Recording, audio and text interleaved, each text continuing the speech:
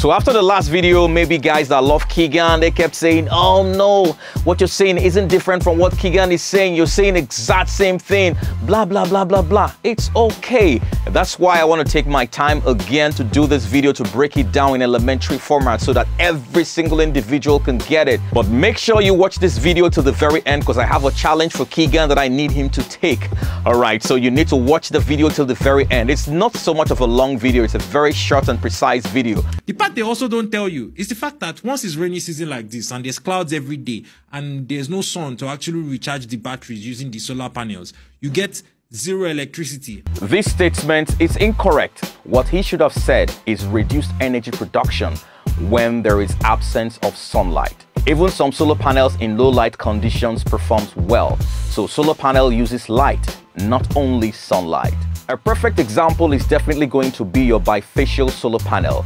Your bifacial solar panel generates electricity from the front and back surface of the solar panel.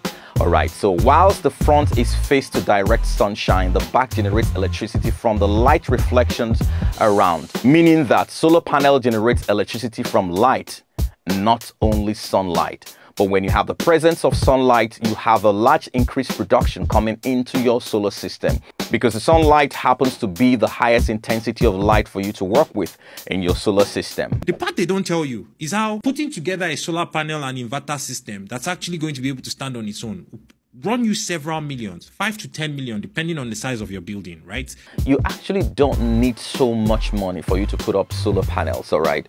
You can get a decent amount of solar system installed for yourself, but what you need to have is power discipline. When it's raining or when it's cloudy and you have reduced energy production coming from the sun, you need to start reducing your load your energy load. You can't keep blasting the ACs when you have reduced energy production coming into your system. What you basically need to do is look at your basic appliances and keep them on. Turn off the air conditioners. If you have the capacity to still run two or three air conditioners, that's fine. But everybody's budget is going to have to contain what they can afford. So work within your budget, work within your means, and then have power discipline. That's all then your system can see you through to next time when you're going to see sunshine or heavy intensity sun exposure.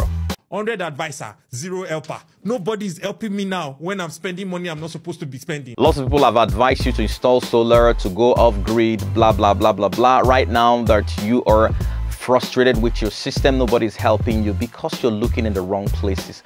Look for the real professionals. Not everybody who says, oh, I can install solar has the expertise to do that. You need to be able to read in between the lines. If that person cannot stand on his feet and make a phone call to someone he has done an installation for and you listen to the customer and how satisfied or how his system is going, do not take that risk of putting your whole investment or the value you're supposed to get in this guy because the system is not going to work properly. Do not generalize. Do not use your experience to judge how the entire solar system in Nigeria or all over the world functions. Be careful about what you say because you could be letting out the very wrong information which is very misleading and which is really not good enough. This was Keegan's comment while this whole thing was going on. So what it's practically saying in this particular message is that I should have researched to know about who I'm talking about before delving into the video. That comment reeks of arrogance. It was totally unnecessary. And I keep telling people all the time, humility is free and is also stress-free. If you're big, let people talk about how big you are, not you. So this was the second comment that he also made. Now, he keeps missing the point all the time. It's not about having the best solar components in the world. The question is, do you know how to configure those solar panels to work effectively?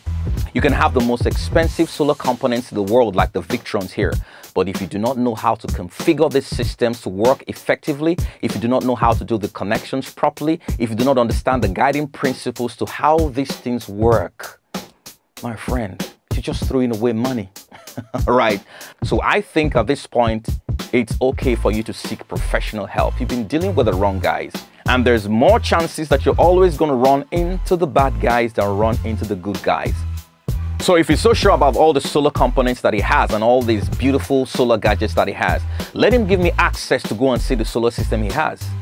Because it doesn't make any sense whatsoever that it has the best solar components, it has the biggest battery storage bank, and yet whenever it rings, he goes back to using generator. Something must be wrong in that configuration. Something must be wrong in that connection. So let him give me access. I'm gonna do it absolutely free. I'm not gonna charge him any money, but I just wanna prove to him that solar is very, very effective. If solar wasn't effective, the advanced countries in the world wouldn't be using renewable energy. All right, so when you go to the advanced countries in the world, solar energy is very, very popular. That's very much we can take today, guys. Thank you so much for being part of this. Always remember, my name is Ikenna from Smilinsun. Everything solar installation, everything inverter installation, everything going green. Don't forget to comment, don't forget to share, and do not forget to like. Keep a date in the next video.